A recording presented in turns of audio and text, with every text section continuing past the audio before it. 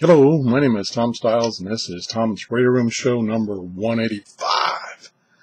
And what you're looking at here is a radio that I just recently got uh, from one of my subscribers. Um, their website is countycomm.com, and they provide a whole array of um, items for the government and for individuals related to emergencies. And for instance, they sell this emergency radio. And I'm going to, they gave me, like I said, they gave me a couple items. I'm going to review the radio today that they uh, sent to me. And uh, we'll see what we think about it. So, thanks again to uh, CountyComm. Now, this is their model GP-5DSP. So it's a DSP radio. It, if it looks very familiar, it's either very familiar or identical to the Tecsun uh, PL360 radio. So if you're familiar with that radio, this is basically that radio. And they have put their name on the back of the radio. CountyComm, there it is right there. So we're going to review this neat little radio. As you can see, it's nice and compact. It fits in your hand um, very, very well. Now, um, this thing is loaded with features, so I'm going to have to do more than one video to go over all the features. I did a video yesterday, and I was up to 35 minutes and I had only gotten through like three quarters of the features. So I'm doing it over again this morning and I've kind of broken it down into, uh, probably might even be three videos. It might be two videos about the radio itself and then a third video on its reception capability versus other radios. So here we go. Anyway, it's AM, FM, and shortwave the shortwave and longwave. And the shortwave band, which is, of course, what you guys are interested in, is um, from 2.3 megahertz to 29.950 megahertz. It does not have single sideband. It's AM only. And uh, we're going to see how it does. Also, what comes with this radio from CountyComm is this strange looking device. This is actually the AM band, meaning uh, your broadcast AM band um, to normal receive. And this guy plugs in the top of this guy right here. And normally these radios have a ferrite uh, core antenna built in which this one does also. So you don't have to use this if you've got, you know, strong local stations. But because the radio is so small, they came up with this concept of this external antenna for AM reception. And it's also directional, so you can rotate it once you've plugged it in. Because we know that uh, when you're tuning those bands, um, you, you sometimes can get interference, and if you can make have it or have an antenna that's directional, that helps.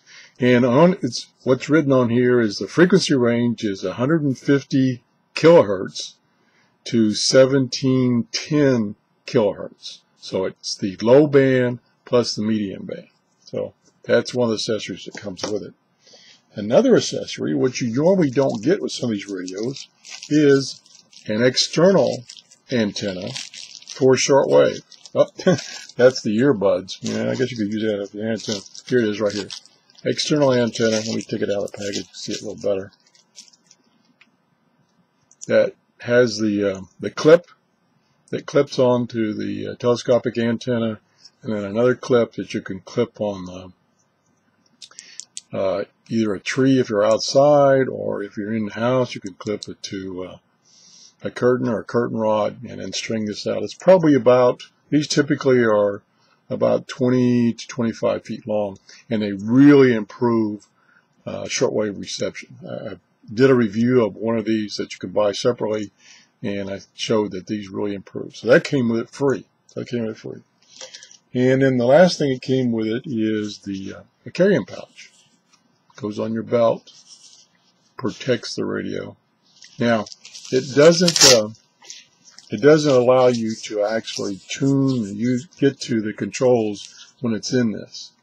But once you have the radio uh, tuned, you can put it back in your pouch, put it on your belt, and it protects it from getting scratched.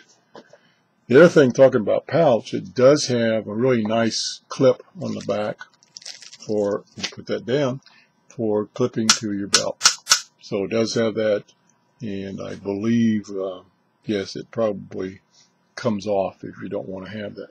Now, the one thing it doesn't have is it doesn't have any kind of stand so that you can stand it up at an angle on your desk if you're using this on your desk or putting it on your nightstand. So that's one drawback. So anyway, let's before we get too far along here, doing the same thing I did before. I'm getting too in depth. Let's uh, we're going to use my shortwave radio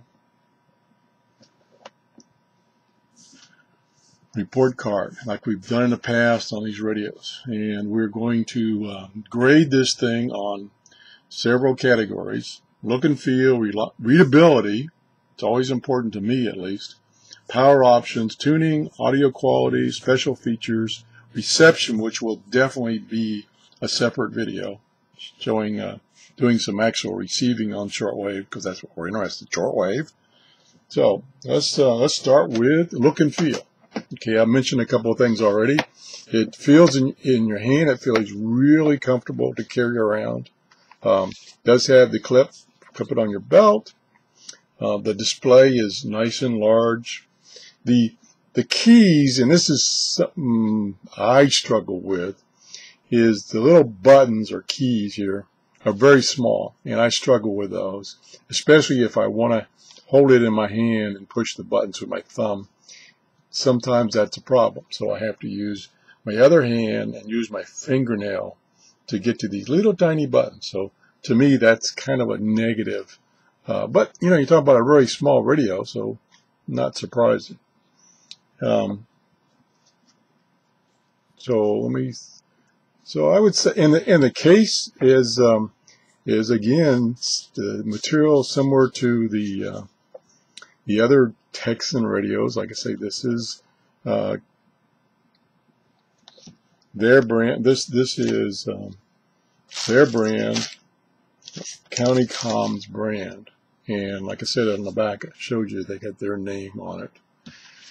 So overall, I think the look and feel is very good. The only negative is that I think, because I always, you know, 90% mm, of the time, I have my radios on a desk and then when I go somewhere, then, yep, I grab them and go.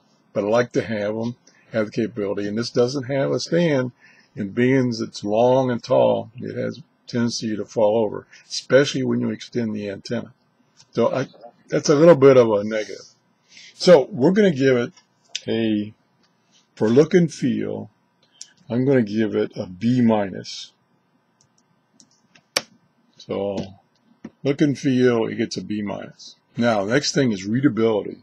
And specifically, we're talking about the display.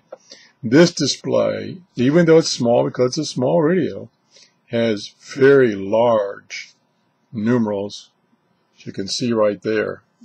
Very easy to read, even for Gramps here that's got not so great eyes. So display is great. The um, turn the power on here I've got a light of light on the room now, so you probably can't notice it. But look at that. Look how bright that background LCD is. Let me push the, and you could, again, like the Tecsun, other Tecsun radios, again, I keep using that term, um, when you use a function, I just tuned it, the light comes on for a few seconds. So there, see, I'm tuning. And as long as I'm tuning, the light's going to stay on. Or, or, pushing any of these other keys, the light, will, the backlight will stay on, and then it'll go off in about five or six. So that's that's that's what I think about the look and feel. I give it a B minus, and on readability, it doesn't matter to me. I can't talk anymore. Read and I promise I haven't been drinking. I don't drink, so that's not my excuse. Readability. Um, I'm going to give it. I can't think of anything negative about the read, readability, so I'm going to give it an A. So now the next one is power options. Okay. This is again. This is uh, this radio is kind of unique in that number one. Let's go to the batteries. Okay, we open up the battery case. Let me open the battery. Stand by. Fumble fingers here. Can't open the battery case. Okay. It's powered by three AA batteries. Now, I love radios that don't use special built-in batteries that either you have to buy a special battery or once the built-in battery dies, yeah, luck. I hate those. I like radios that use standard batteries. This uses three AA batteries, or it has the option to use rechargeable batteries, and it has a uh, small USB port um, that you can charge the rechargeable batteries with using a, an adapter cable to your computer or a uh, adapter for a AC adapter. Now, unfortunately, they don't give you the cable, but this is a very general, uh, generic cable, so that you probably already have one, or you can get it for a couple of dollars, so that's not a big deal. And in the radio, you uh, one of the functions is to either tell the radio that it has rechargeable batteries so that it will allow you to make that connection and then it will charge the batteries or tell it not so that you can use standard alkaline batteries. So that's the power source. Like I say, they don't give you any kind of AC adapter. So since they don't give you an AC adapter, which a lot of the companies are doing that, I'm going to knock it down one uh, grade for not giving you the AC adapter. So I'm going to give it a B. Okay. Now, let me put the battery cover back on, which is really easy to get back on. Okay, now with the radio is on. We're in shortwave mode. Um, they, um, they this is this is where I got bogged down on a previous recording. Is they have like four or five modes of tuning, and I really got bogged down and got confused. So that's why I'm doing. One of the reasons I'm doing this video. So I'm just going to briefly tell you about the modes, and in another video, I'll go through what each of those modes are. So one of the modes, I'm going to pull out the manual here because there's so many modes and a little bit confusing. Okay, under section under tuning in stations. Method one, this is what they call method one, is ETM or easy tuning mode. Now, this is similar, and I'm still trying to to determine the differences, and I did some research and I kind of came up blank of how this differs from ATS uh, mode of tuning. That the, for instance, here's my Tecsun PL660, which has ATS. It does not have ET, ETM. So, so what, what I briefly read and I played with is ETM is similar to ATS in that you put the radio in ETM mode uh, in a particular uh, band, AM, FM, shortwave, and then you press and hold the ETM button and it scans the entire band. Like for instance, if you're in shortwave mode, it will scan the entire shortwave band and temporarily store in some memory locations that are marked E00 X, or like for instance 001, 2, 3, 4. And for um, shortwave, there are 250 memory locations, E memory locations. So that's kind of how that works. The other uh, mode is uh, manual mode, which you, there's a tuning knob right here on the side. You put it in, make sure it's in VF for uh, variable frequency, that's what I think it's called. And um, you just turn, let me get the light right here, turn that knob and you can see it's tuning. Now, I, actually, I'm in memory mode, so I got to go to the other mode. It flashes for a couple of seconds to show it's changing modes, and now I'm just manually tuning, and it tunes, in the shortwave band, it tunes at um, 1 kilohertz steps. Okay, so that's another method. That's two methods already. Then there's um, auto browse station mode, where you put it in uh, VF mode and whatever band you want, shortwave, say for instance, and you press and hold the VF button like that, and it starts tuning until it finds a strong station and it stops. So it just does scan and stops when it gets a strong station. So that's method number three. Method number four, which is um, what the other Tecsun is calling ATS, is auto browse memory. And uh, no, I take that back. That's auto browse memory is for going to memory mode, VM mode, and scanning through the, the frequencies that you've stored in memory. And it just scans it until it finds, um, again, a station that's on the air at the time and stops. Then, actually, a fifth mode is the ATS mode. And that's the uh, auto tuning storage where it's similar to the other mode where it scans and then it stores in temporary memory. Now, how that differs from the ETM mode, I'm not quite sure, except ATS mode gives you um, two options, same as in the PL660. As one option is to just scan the band that you're in when you start to scan, say if you're in the 31 meter band, it just scans that band and stores whatever it finds. The other option is to scan the entire shortwave spectrum. So, and then it, like I say, it stores it in another set of temporary memory locations. Now, how that's different from ETM, I, I'm not sure at this point. So I won't get into that because that's what drugged the previous video out so long trying to explain that. So that's the various tuning. So it's got all kinds of tuning modes. You know, it just it, you could just go crazy with all these tuning modes by themselves. Well, anyway, okay. So it's it just overwhelms you with tuning modes. So I'm going to put a, definitely an A there for tuning capability.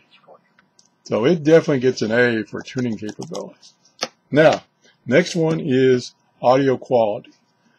The uh, and I, I, hesitate to do uh, any let you listen to anything on the audio, especially FM, because um, I can get uh, a black mark from YouTube for recording music. So I, I won't even go into. But anyway, I'll just say that this little speaker does an excellent job. Um, and the audio is very loud. Matter of fact, I've typically had to keep it tuned down. It's so loud. And it has a headphone jack at the top, and I guess I forgot to tell you that it does come with earbuds. So you can use that. So I would give the audio, um, now it does, it's not stereo, of course, um, but I will give the audio, I'm not going to give it an A because typically in a radio this small and a speaker this small, you might get some distortion. I, I'm going to give it a B just because it's a small radio and a small speaker. So that's the reason I'm giving it a B. Now, the next category is, on the scorecard, is special features. Now, one thing I've already, already talked about all the uh, tuning modes. So I would call those, you know, some special features. You know, you got that ETM, which my Tecsun 660 now does not have ETM. And uh, also, and let me see if I can do it while, let me turn it off.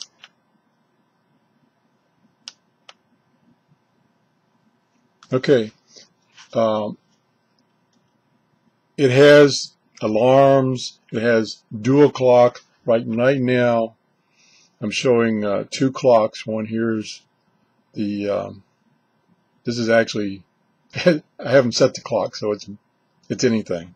But anyway, you have two clocks, so you can have one for local and one for UTC time.